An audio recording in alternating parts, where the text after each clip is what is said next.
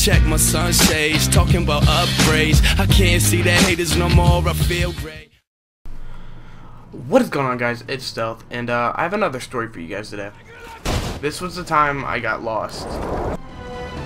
Me and my family were going to this festival, right? It's like a long line of people, like lots of people on the streets.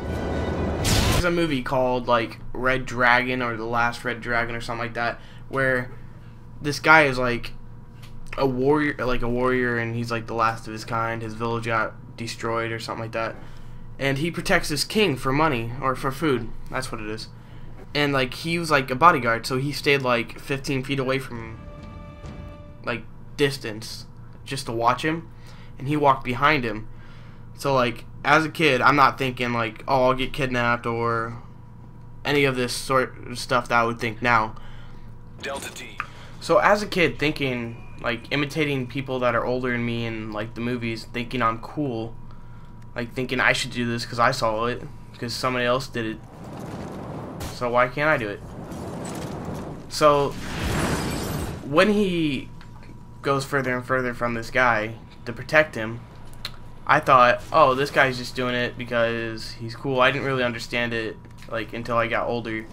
I for some reason, my little mind thinks back to that movie because it was like my favorite movie back then. And as I get further and further, I start losing sight of them through the crowd and everything, right?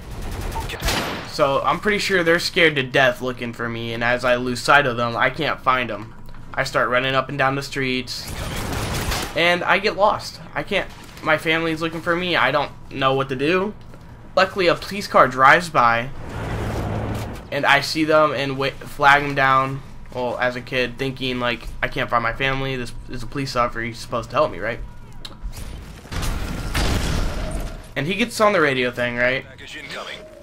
And um, tells him that they got a missing kid. They can't. He can't find his. that was almost a no triple. That he can't find his family, and uh, if a family asks if they can't find their kid, hold on.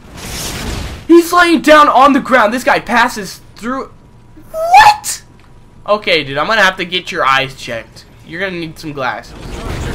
And I'm pretty sure my family flagged down cops and told them look, keep their eye out or something like that, or told them I can't find my find my grandson. So he calls it in. They find me because of the cop. Most likely, the cops helped us. And, um, yeah. So that's my story, guys, of the time I got lost. Being dumb. I really hope you guys enjoyed the video. Thank you guys so much for watching. This lobby sucks, so I'm going to leave it. But this has been Stealth. I'm out, guys.